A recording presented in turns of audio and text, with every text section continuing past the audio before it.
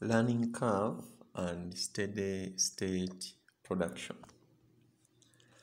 Now the principle in the learning curve theory is very simple that as the cumulative output doubles, the cumulative average time falls to a given percentage of the previous cumulative average time. Remember, the learning process immediately starts when you produce the first when you produce the first unit. Now as you can see, we have this graph we have the cumulative average time per unit then you also have the cumulative output. So the moment we produce the first unit we see that the cumulative average time keeps on reducing. So the more we produce more units this time per unit keeps on reducing. But you'll see that now there is that point when the average time starts leveling off. That is what we call the steady state production level. So from this level, we see that the cumulative average time per unit is constant.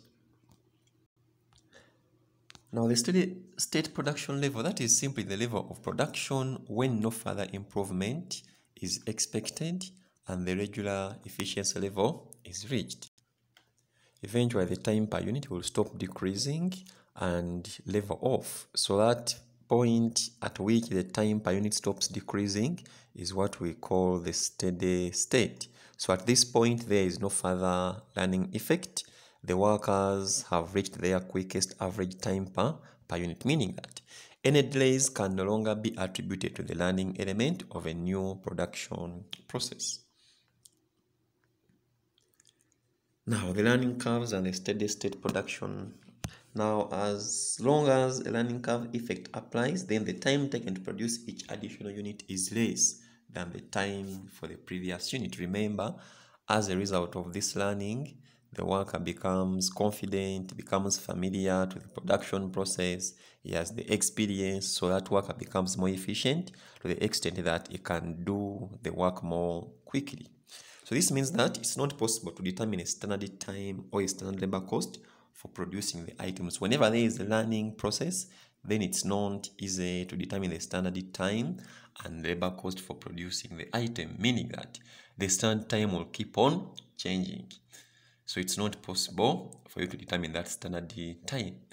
Now, a time will be reached, however, when the learning effect no longer applies and a steady state production is reached for the product.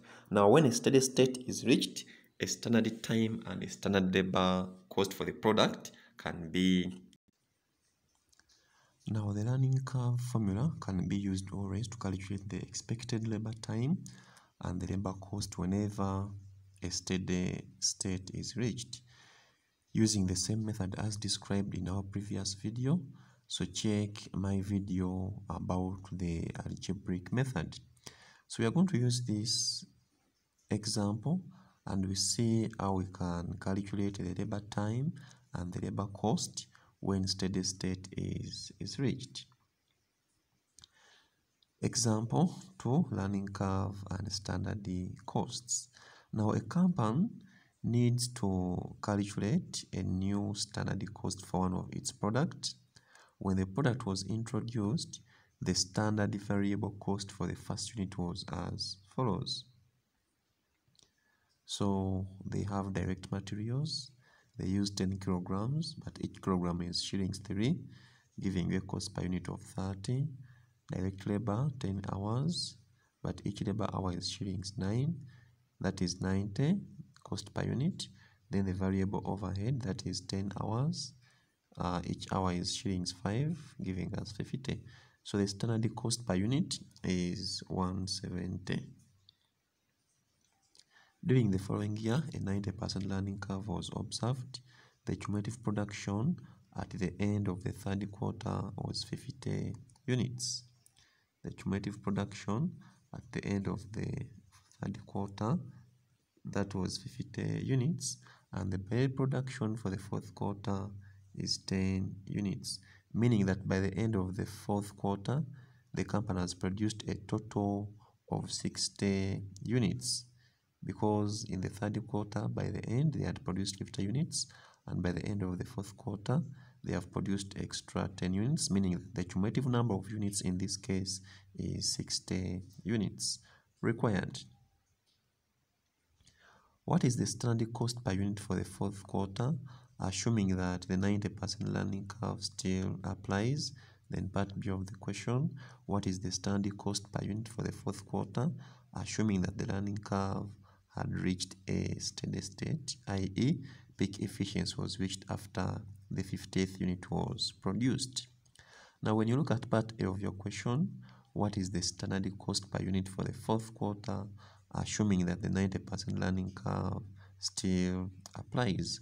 Remember, in the fourth quarter, we are producing more 10 units. So we have to find out the standard cost per unit for the fourth quarter. Now, what do you do in this case? You have to find out the time taken to produce those 10 units in the fourth quarter. Now, after finding out the time taken to produce the extra 10 units in the fourth quarter, find out the time taken to produce each unit for the 10 units. Now, once you have that time taken to produce each unit in the fourth quarter, then you can come up with a standard cost per. You can come up with a standard cost per unit. You get the material costs, the labor cost. But in this case, to come up with your labor cost, you have to get that average time per unit for the fourth for the for the fourth quarter when they produce 10 units. Then you also get your variable your variable overheads. Remember, the variable overheads are also affected by the 90% learning curve. And the hours we use when computing labor cost is are the same hours we use when we are computing our variable when we are computing our variable costs. Then we look at part B, what is the standard cost per unit for the fourth quarter, assuming that the learning curve had reached a steady state, i.e. peak efficiency is reached after the 50th unit was produced. So peak efficiency was reached after the 50th unit was, was reached, meaning that when we produce the 50th unit, that is the steady state peak of production, meaning that after the 50th unit, there is no more learning. So the learning process ends at the 50th unit.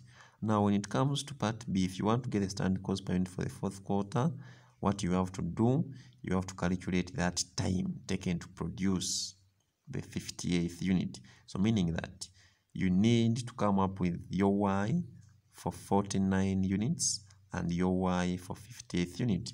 That difference will be the time taken to produce the 50th unit. Now, after getting that time taken to produce the 50th unit, then you can come up with your standard cost per, per unit. Let's have a look at the solution and we see.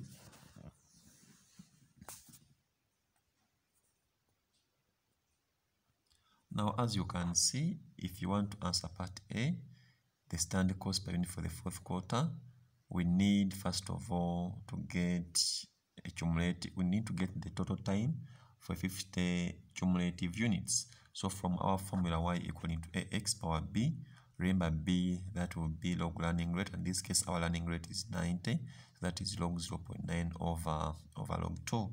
So the value of b, when you press your calculator, you get negative 0.1520031. So meaning that your y will equal to ax power b. Now, if you want to get for the cumulative 50 units, of course, you substitute in the formula. So that is y equaling to 10 times 50 power b. And meaning that on average, each unit is taking 5.15176 hours. That is for 50 cumulative units. Now, if you want to get the total time for the first 50 units, then you multiply because the 5.5176 is per unit. So 50 times that gives you 275.88 hours. Now you also need to get the time taken to produce the 60 units. So in this case, your x will be 60. So when you do that computation, you come up with a total. On average, it takes 5.3668 hours to produce a unit for the 60 units. but those total 60 units take a total of 322.008 hours.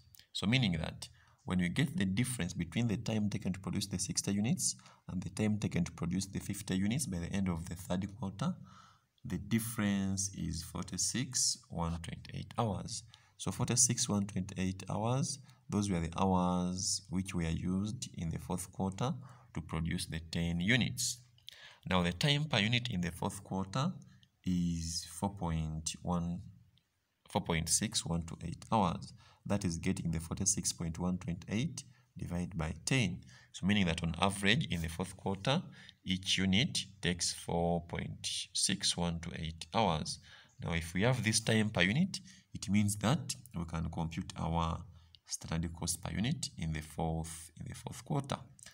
Direct materials that is unchanged according to the initial standard cost. But when it comes to direct labor, because in the fourth quarter each unit is now taking on average 4.61 to 8 hours. When you multiply with your rate per hour you come up with 415152 then the variable overheads still they will also be affected by the learning rate of 90% so we still use 4.61 to 8 hours but each hour is 5 giving us 23.064 meaning that in the fourth quarter the standard cost per unit is 94.5792 let us have a look at part b of the question now when you look at part b our interest is in the standard cost per unit for the fourth quarter assuming that the learning curve had reached a steady state i.e. the peak efficiency was reached after the 50th unit was produced. So now what we need, we need to come up with that time taken to produce that 50th unit. That is the steady state production level. And after that 50th unit, the average time per unit will be the same. Remember, we have the time taken to produce the 50 units already. So in this case, we need to come up with the time taken to produce the 49 cumulative units. So this is how we do that. So y will equal to 10 times x. In this case, your x is 49 power b. Now this gives us 5.5346 hours. Now the total time for the 49 units is getting the 49 times the time taken to produce each unit on average. That is that is 5.5346 giving you 271.2 hours. So meaning that if we want to get our standard cost, we have to first uh, get the time taken to produce that 50th unit. And that is the difference between the time taken to produce the 50 units and the time taken to produce the 49 units. So you get the difference and that difference is that difference is 4.168 hours. So that is the time taken to produce the 50th unit. Now for the subsequent number of units after the 50th unit, that time per unit is going to be constant because at the 50th unit, that is our steady state level of production. Now this is your standard cost in this case, the standard cost per unit in the fourth quarter after the 50th unit has been produced. So direct materials, of course, that will be 10 kilograms times 3. It will not change. However, your direct labor now changes. The standard time per unit after producing the 50th unit is now 4.68. So that gives you 42.12. Then variable overheads, that is 4.68 still times 5 giving you 23.4 meaning that the standard cost per unit after the 50th unit is produced that will be 95.52 self trial question. Now you try out this. A company is preparing a quotation for the new product. The time taken for the first unit of the product was 30 minutes and the company expects an 85% learning curve. The quotation is to be based on the time taken for the final unit within the learning period, which is expected to end after the company has produced a total of 200 units. Calculate the time per unit to be used for the quotation. Note the learning index for an 85% learning curve is negative 0.2345. So use that for your B. That was a short summary about learning curve and steady state production. Thank you very much for watching this video and if you want more about other concepts of management accounting subscribe to my youtube channel thanks again and have a nice time